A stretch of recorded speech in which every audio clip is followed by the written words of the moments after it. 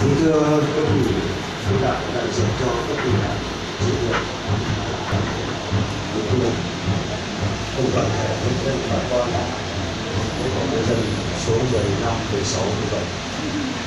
Tôi được sự quyền của gia đình, tôi xin có câu lời cảm tạ.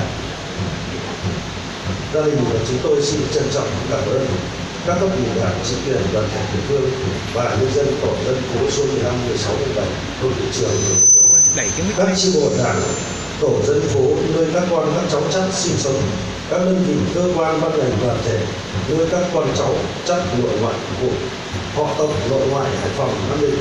Thông gia nhân gia các dòng họ tộc của thông gia nhân gia các con cháu.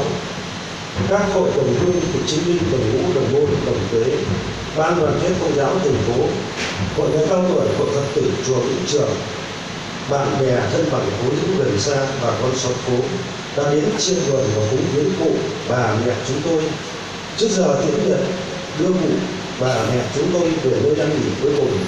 Không biết nói gì hơn, thay mặt gia đình tôi xin trân trọng cảm ơn. Cảm ơn. Trong quá trình tăng ra bối rối, gia đình có điều gì sơ xuất xin được thông cảm và nhận thứ xin cảm ơn. Vâng, xin cảm ơn. Để tiếp theo chương trình, bây giờ đã đến uh, giờ di quan cho cụ Vũ Thị Đào. Xin trân trọng kính mời vị chấp hiệu cùng toàn thể thanh niên chúng ta tiến vào phòng tang.